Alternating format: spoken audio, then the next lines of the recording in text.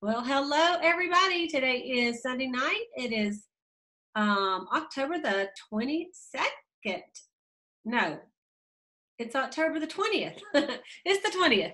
And so tomorrow, um, several of us leave on the Destination Red cruise. Me and Marie Barfield Janet Holloway, and I was just talking to Jana on here who took the money, and so they're going to the Grand Canyon, and so we're so excited, and I can't wait to tell y'all all about it next week.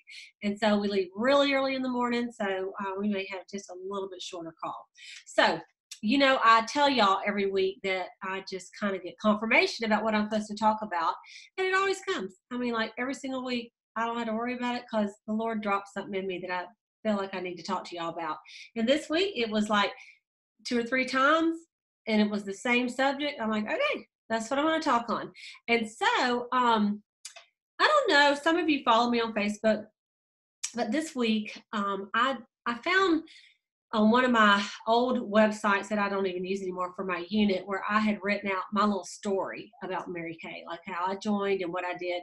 And um, and then I thought, you know what, I'm fixing to post this um, because I did a brand new marketing video. You guys are welcome to use it, but I didn't really go into my whole story. It was more generic about me and more about Mary Kay, the company, and which is, is what I wanted it to be. But I thought I'm just going to post this little story, and you know, all of you are writing your story with Mary Kay, and whether you are just starting or whether you've been in a long time, you're writing your story, and so you know you want to you want to kind of be thinking about how you can tell your story in a concise way in like a you know a couple paragraphs at every party at every interview so people can get to know a little bit more about you and where you come from in your story. And you also need to be able to tell Mary Kay's story. And so um, the subject tonight is actually the Golden Rule. And I have been reading through the Bible this year, and um, I I read through uh, Matthew, um, Mark, and I'm on Luke.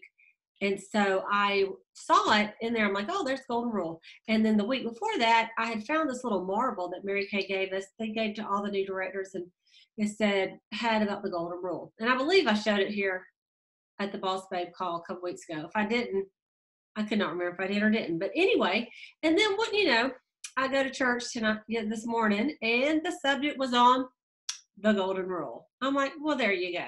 So we're going to talk about that just a little bit. And Mary Kay thought it was so important. So, but uh, that and also just your story and knowing Mary Kay's story. Okay. So first of all, I, I just looked up the golden rule on on the internet with Mary Kay, and I came across this article that showed Mary Kay's story very concise. And so I'm going to read it to you, and I'll post later the website on this because I think it's just a quick, easy way. I mean, you you definitely want to read her whole autobiography if you haven't done that. But I think some of you don't know Mary Kay's story, especially if you're kind of new. You're like, yeah, I need to read that one day.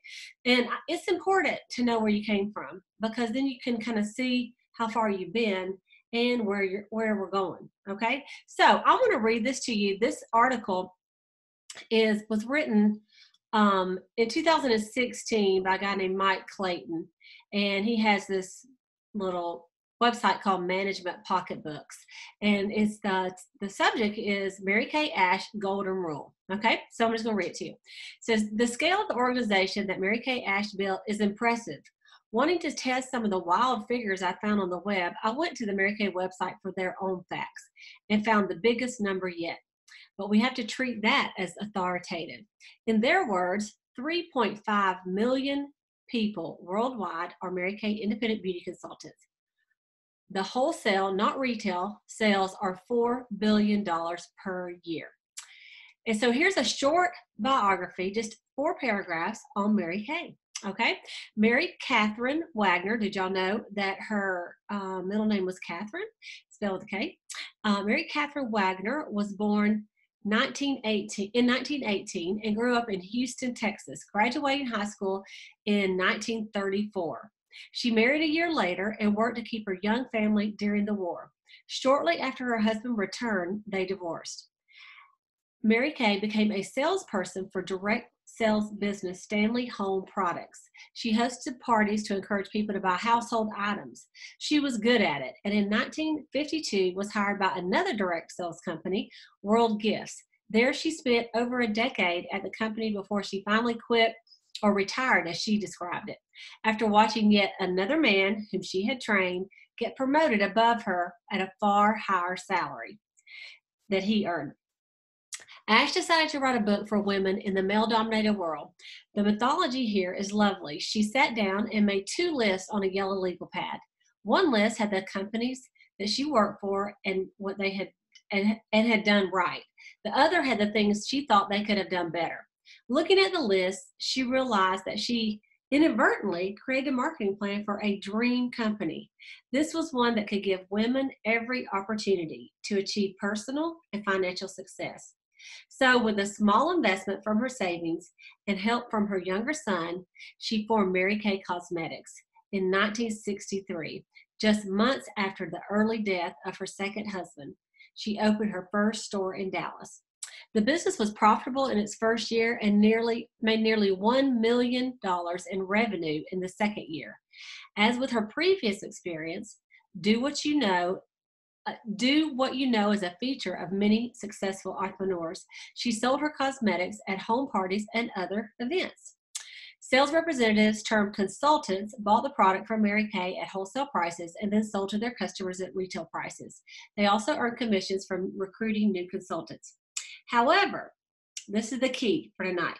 She innovated the way she organized her sales represent, representatives and notably in the way she treated them.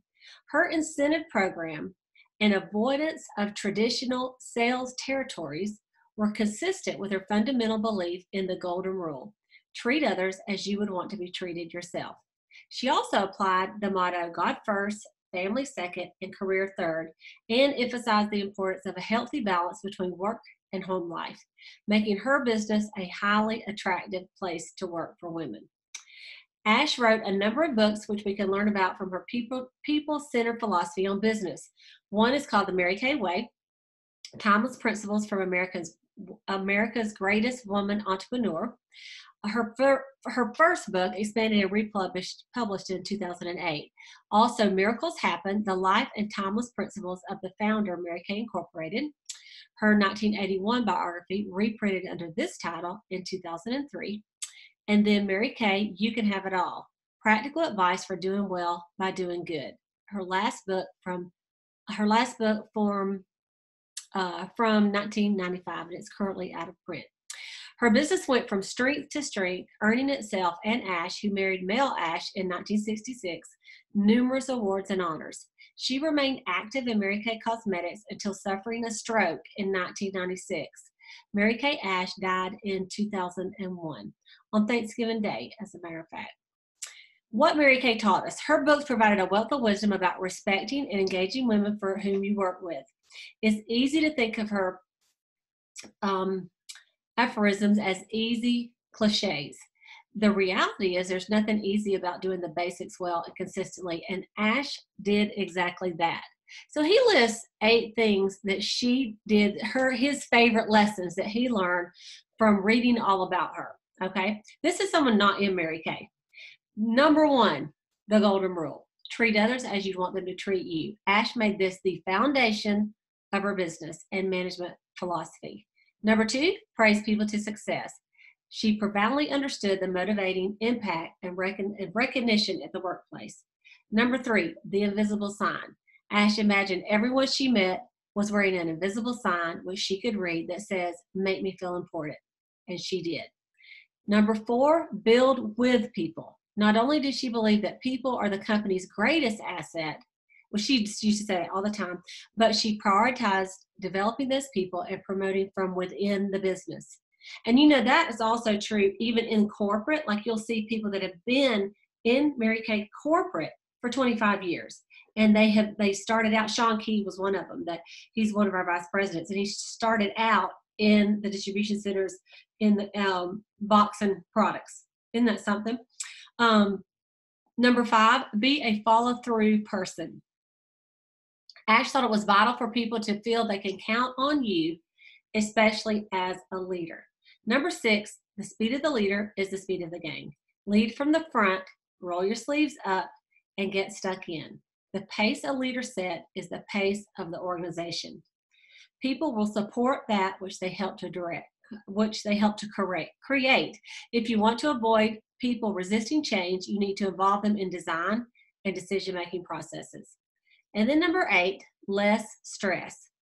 Ash's commitment to work life balance was underpinned by a belief that stress stifles creativity. So I thought that was really great. Um, little just one page fun facts about Mary Kay, the company. And I think if you like read that and could pop out some of those um, facts about the company while you're doing your Mary Kay parties or while you're talking about the business, I just think it's great for people like us in the company to know where we came from know our history. And you know, sometimes at church and other things in schools, they want you to know the history. Even in schools, like right now, they they in Georgia, they you have to take a class, Georgia history. They want to, you to know that Oglethorpe, you know, was the one that founded Georgia, you know, and so we had to learn all about Georgia history. And wherever you live, I'm sure you learned all about that. And so this is Mary Kay history. So I want to challenge you guys to I'm going to put that link on there. Maybe print it out and study it, but to grab that autobiography and read it about Mary Kay. Read her story so that you know a little bit more about it. Now, even on the Mary Kay website, when it shows the values of the company, when you look it up, marykay.com, and you click on our values, one of the first things on there, it says Mary Kay coined this term uh, well, first it talked about the go give spirit. It said Mary Kay coined this term to describe the selfless pursuit of the greater good, a dynamic team spirit of helping others found throughout our halls of our offices around the globe. The rewards of lending a helping hand to others or being the recipient of an act of kindness leads to an atmosphere of trust and caring relationship. And then number two on here is the golden rule. Do unto others as you'd have them do unto you. This tried and true principle has stood the test of time, and it is the cornerstone of our leadership practice rules. We also believe an atmosphere of teamwork, respect for others, and fostering relationships built upon trust, honesty, and caring.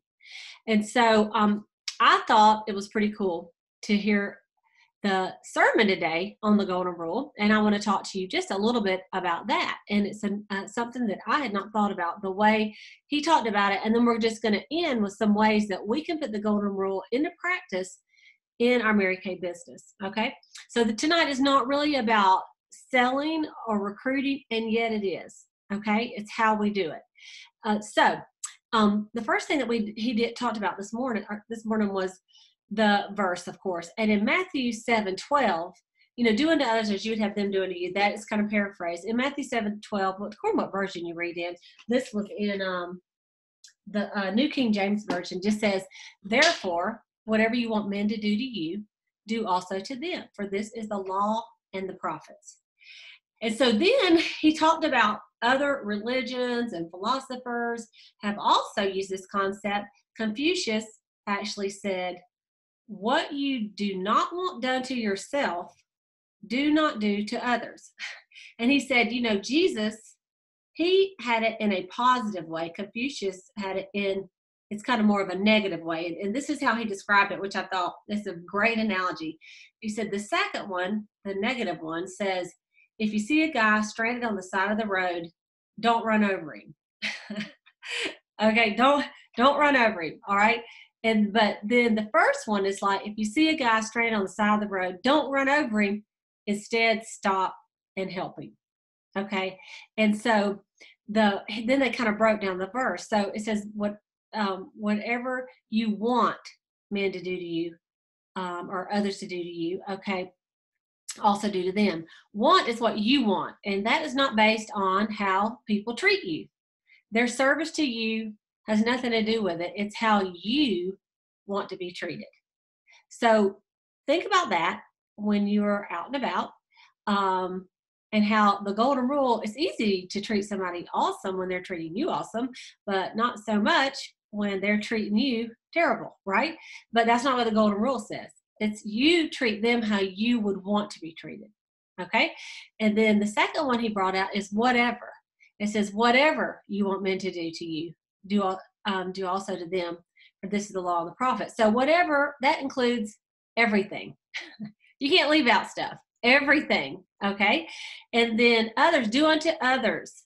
Do unto others as you'd have them do unto you. This not limited to any particular group. This doesn't mean just like do do unto your neighbor or your family member or your best friend, um, you know, people that you like. It's everyone. Okay. Um, and then at the end of the verse, it says, For this is the law and the prophet. It's, um, it's not a um, suggestion. In the Christian um, world, it is really is part of God's teaching. It's a commandment, not a suggestion. So, as a Christian, if you are one, you know, this is how the Lord has taught us to live anyway. Mary Kay was a Christian, and so she put this philosophy in her company. And it has been very successful. Okay. Um, and then the the the beginning of this in Matthew, it says, therefore, whatever you want men to do to you, also do to them. Um, therefore means like you have to go back. What was he saying right before he said this? And the verses right before he said this was that all of you are familiar with is ask and it shall be given to you, seek and you shall find, knock and the door shall be opened unto you. And y'all can go back and read that.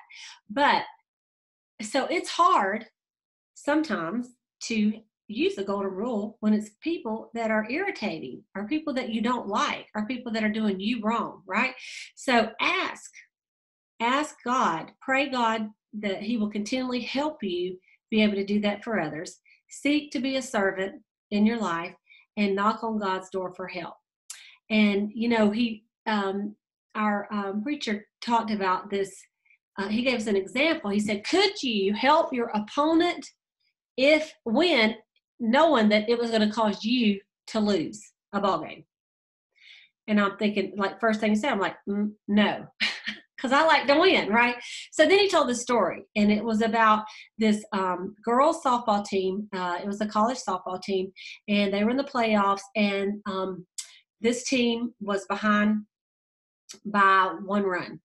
Or I think by two runs, as a matter of fact, behind by two runs. Well, this girl got up there and she hit a home run. And she was so excited. She had never hit a home run before in her whole career. And by the bases were loaded. So by this, they were going to win the game. Like she was the superstar of the game.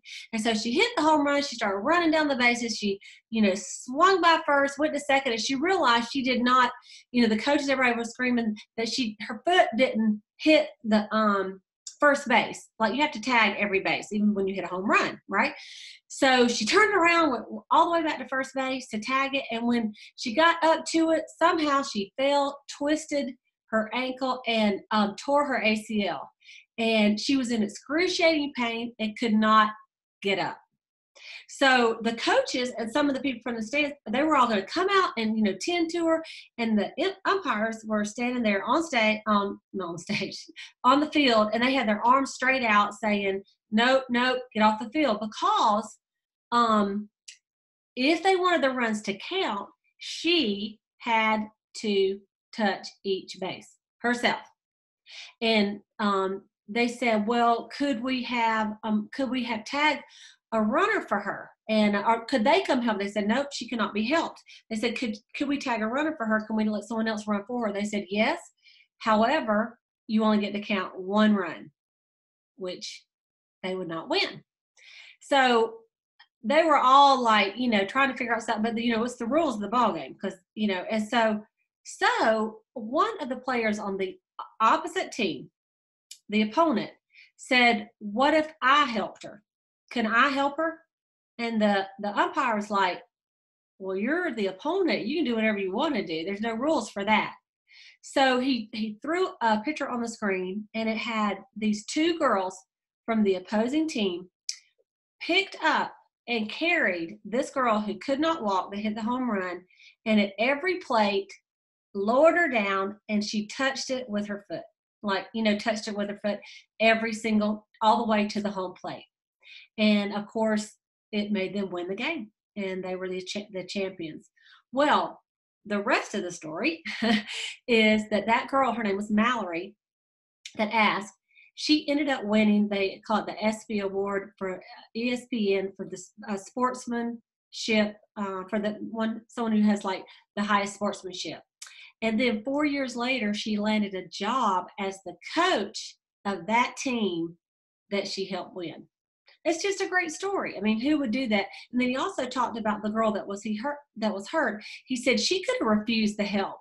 He said, and probably to this day, she'd be probably just thinking, why couldn't I get around, you know, that, you know, beating herself up for not going around. But she accepted the help.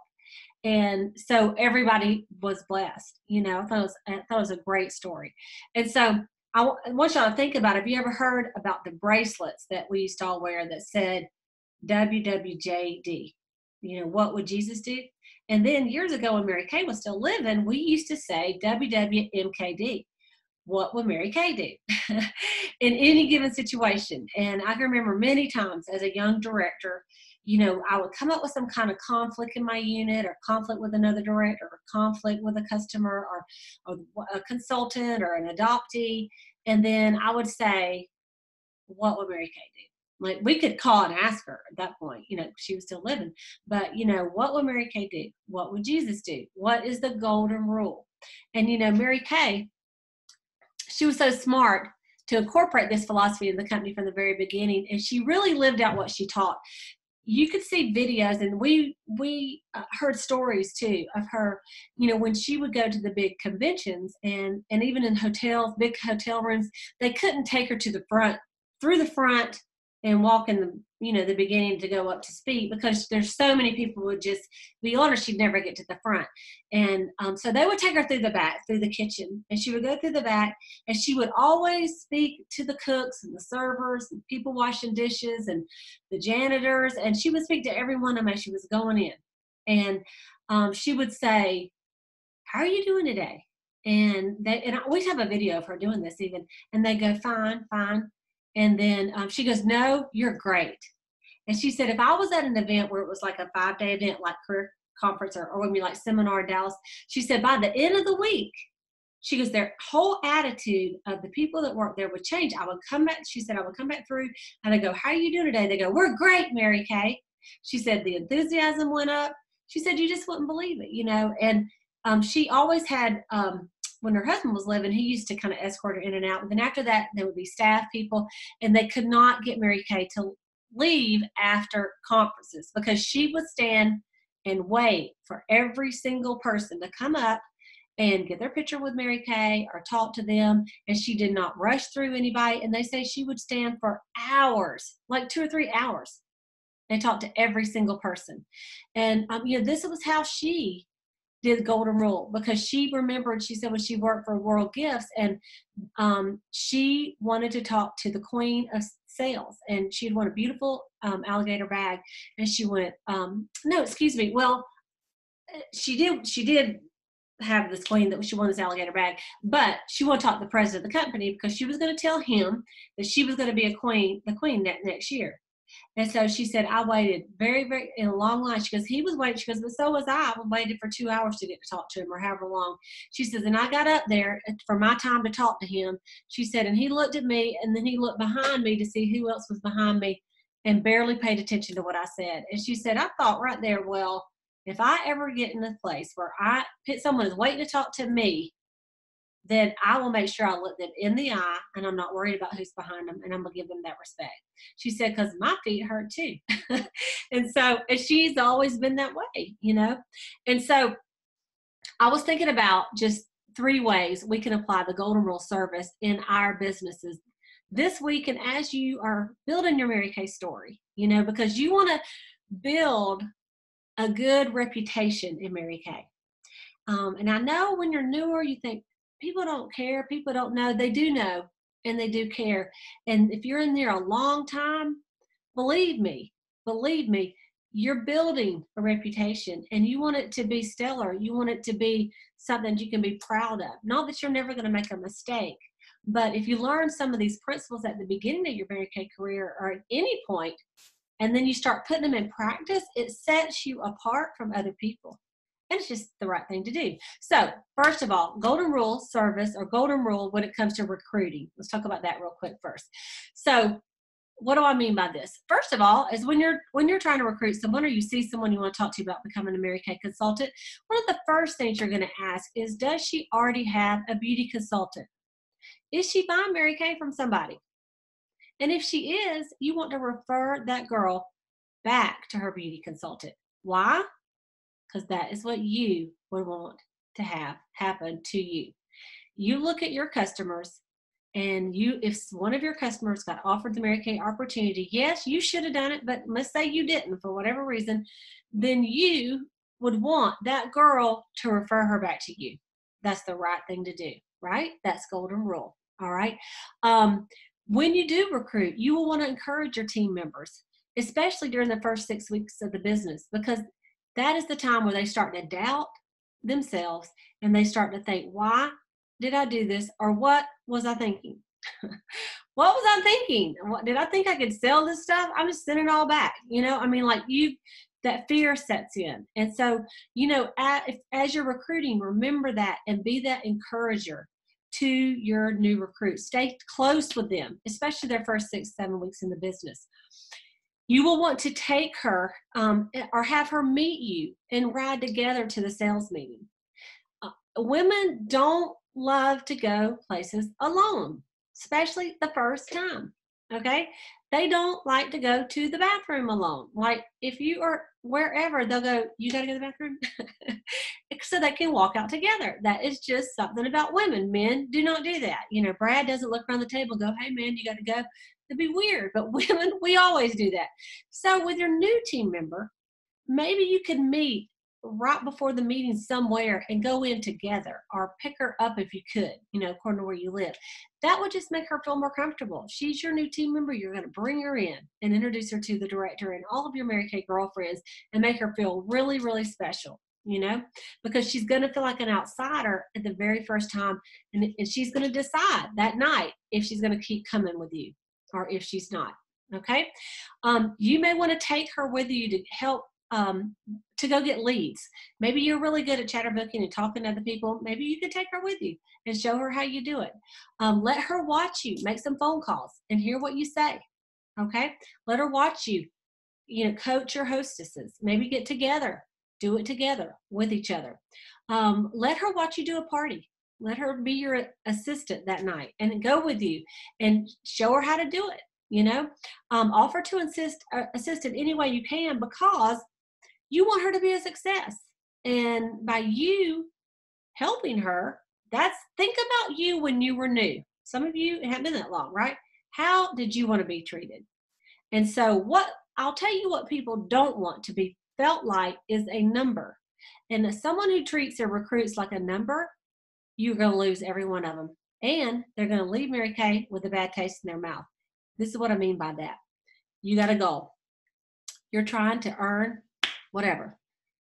The Destination Red cruise, you're trying to earn a free car, you're trying to get in red jacket, whatever. And you're calling them, calling them, calling them, calling them, calling them, calling them, calling them, calling them, and then they finally sign up. okay? And then as soon as they sign up, then you start you talk to them about their inventory and they get active and then you go to the next person and you don't even call them you don't check on them you don't see if they got their first party booked you're not you're like, they're a number. You got them, and now you're done. That's the worst thing you can do with recruiting. The absolute worst. Okay. So you got to call them just as many times as you did when you were trying to recruit them now that they're in to encourage them. Okay. And then number two is golden rule when it comes to selling. Um, just like recruiting, you meet someone, you want to book her, one of the first things you want to ask is, hey, do you have a Mary Kay Beauty consultant? And if they say yes, you refer her back. Okay, you refer her back to her. Um, um, you want to always offer the money back guarantee to your customers when they at a party. And if they decide to take you up on that for whatever reason, okay, Mary Kay doesn't care what the reason is, and you shouldn't either then you want to do it with a good attitude because you said there's a money back guarantee. You said at your parties that they can, you know, you'll exchange it for something else or you will refund them the money. So if you cop an attitude when someone wants to return or exchange, that is a reflection on you like, oh yeah, they say that, but they give you a hard time. It's just like if you have, you know, a jacket that you bought and the buttons were missing and you took it back and you're trying to return it at Macy's and they give you a really hard time about it and go, well, these buttons were on there when you left. And you're like, sorry, ma'am, I've, I've only worn it one time and they just fell off. And they just kept on. I mean, what it would do, even if later she gave you the money back, it would make you say, I'm not shopping at Macy's because they give you a hard time if they don't honor what they say, right? And so that's what will happen to you. So you want to just, if you can't satisfy her, some people just can't be satisfied. And maybe you just feel like she's ripping you off. Like she bought it, she used it for a party, and then she returned it all. Okay, let's like those people that buy dresses, hide the tags, and take them back the next day. okay, maybe she did that to you. You know what? Don't worry about it. You do the right thing. You treat her like you would want to be treated, even though she's not doing the right thing. It's hard. You may have to pray about that one, right? Ask, seek, knock. okay. Um, what else for the customers? Offer her samples or free gifts with all her orders, um, all her reorders. Uh, call to check on her every two day, two, every two days after the first sale, then two weeks, and every two months at least. Um, keep her informed of all the new products. Offer her the career opportunity. Okay, don't don't not offer it to her because what aren't you glad somebody offered it to you, right? Put her on your preferred customer program where she gets the books every um, you know, eight weeks. I mean, or so, whichever, whenever Mary Kay does it, you know, put her on the mailing list. I would want to get a book if I was a customer, right? Um, and these are just a few of the things you could do with your customers. Uh, and then lastly, number three, your golden rule when it comes to your sisters in Mary Kay, your sister consultants, your sister directors. Okay. So, what are some ways that we could do this? You know, number one would be at a meeting or seminar career conference, your fall advance, anytime you're gathered as a group with other Mary Kay consultants, you want to be that girl that speaks to everybody.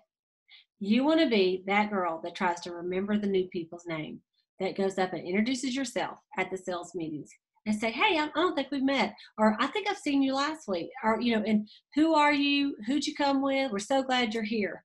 You know, this is for the guests and also for the sister consultants. Really, when you talk to a guest of a sister consultant, you can't even imagine how how that makes the consultant feel that you took your time to come speak to her guests that's a big deal you guys. So but also speak to them. New people that come in you know they are they're checking out the meeting. And it's not just about the girl that brought them it's about the whole meeting. And if there are friendly women at the meeting that treated her kindly with respect and came up and talked to her and made her feel comfortable and talked to her after the meeting and assisted her in any way possible that consultant is going to come back. If she's treated rudely no one speaks to her no one even knows who she is. She leaves, not, you know, it just was an unfriendly meeting. You'll never see her again. And you won't, and she, you won't ever know why. You're like, I don't know why my recruit don't go to the meetings. Okay. Um, be an encourager um, to your sister consultants, not a complainer. Not a complainer.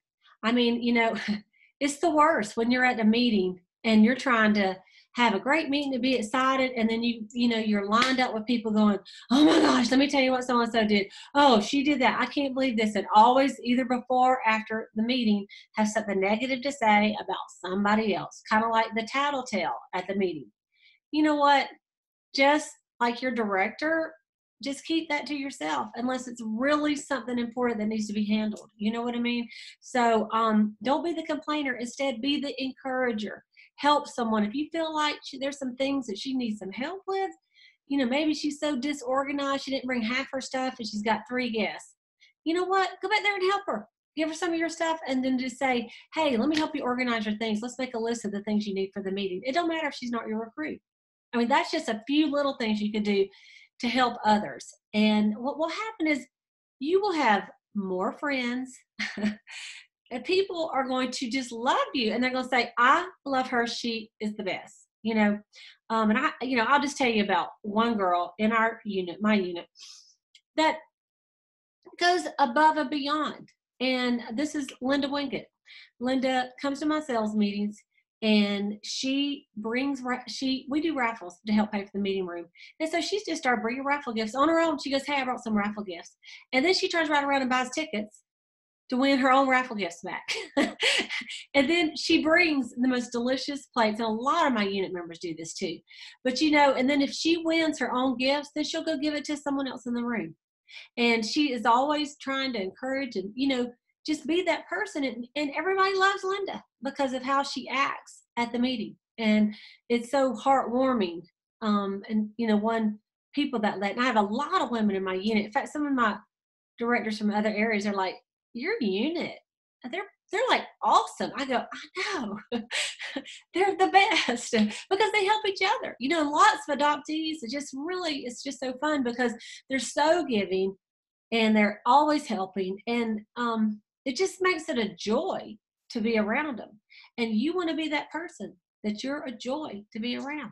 You know, um, so I just thought tonight I just wanted to talk about that about living and working with the golden rule in your Mary Kay business. It's how our founder set our business apart from other businesses. Other businesses do not have philosophies like this. They just don't, you guys. They don't. It's dog eat dog.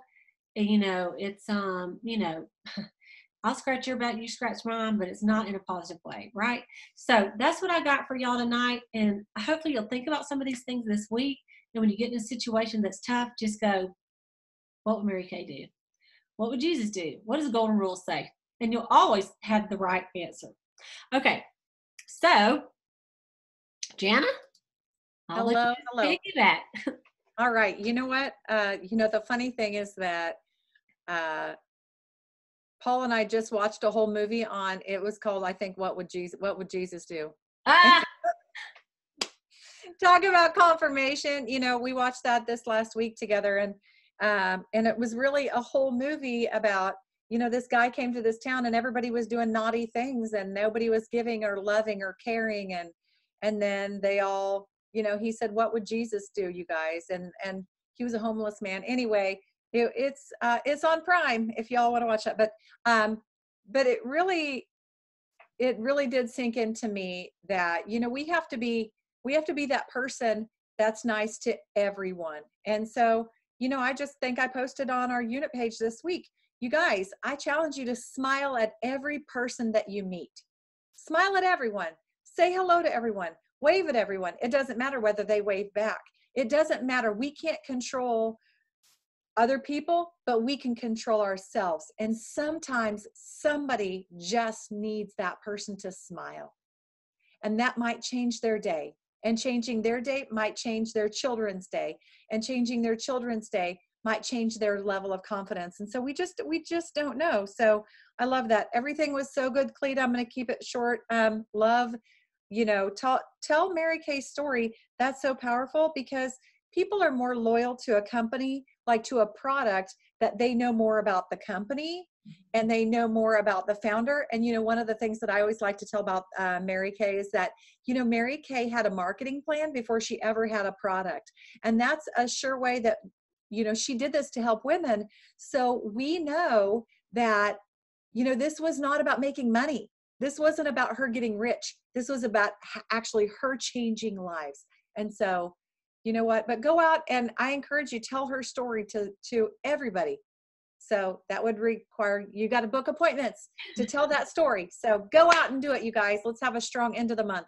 Yes, thank you, Jana. Thank you. Okay. Uh-huh. Um, let's see. I had well, Miss Rosie on here. Let me find you. Here we are. Okay, Rosie. Can you hear me okay? I can.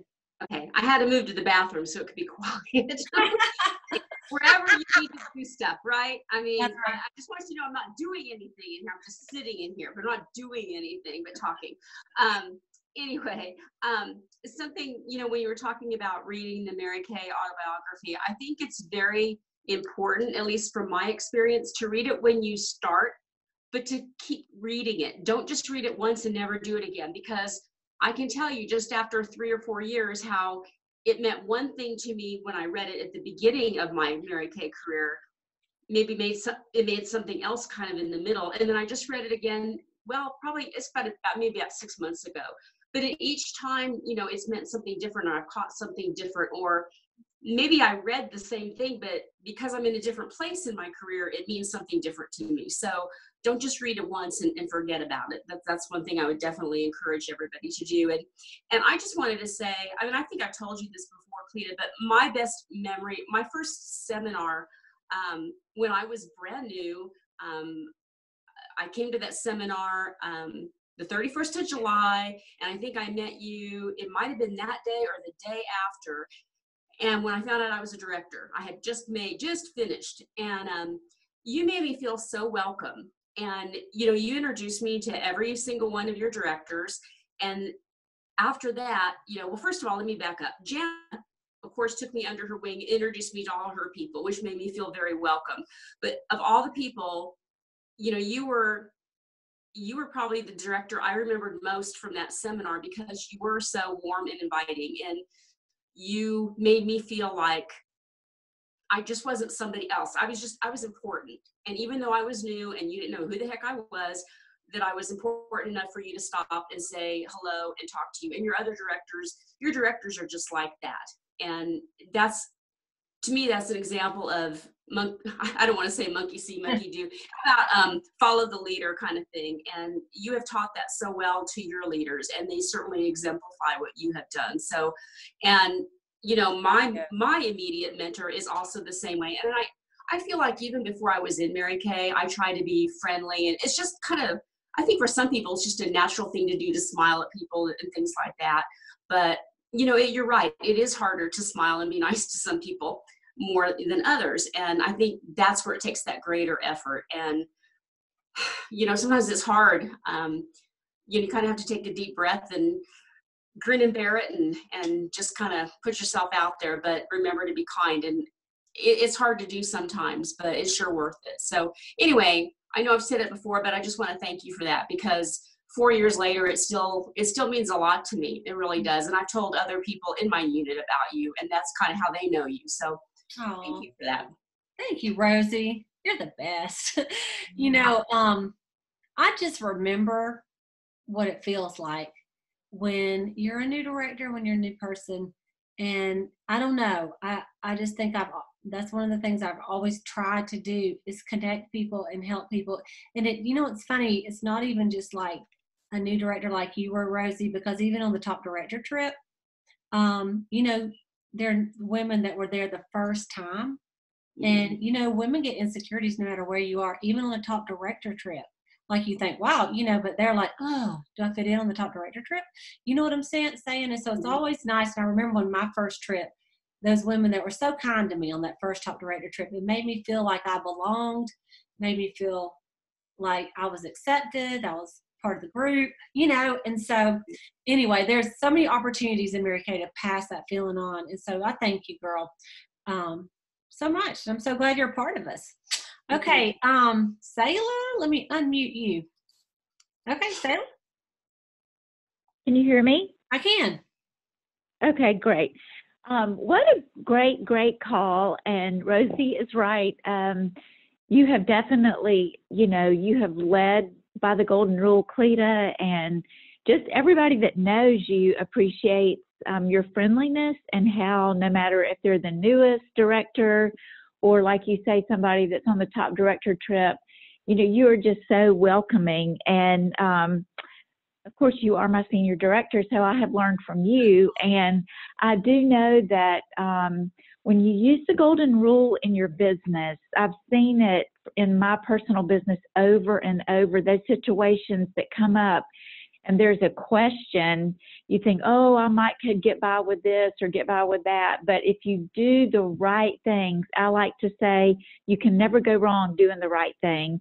Um, if you do the right thing and use the golden rule then you not only are planting seeds for your future business but later on it those situations have a way of coming back around to you and you never have to second guess what you did in the situation and um, i uh, i just appreciate that so much about mary kay and her setting that into motion at the very beginning so that we can all have businesses of integrity and um, really businesses that let Jesus light shine through us. So, yeah, it's the golden rule is a great thing. So true, so true, Selah.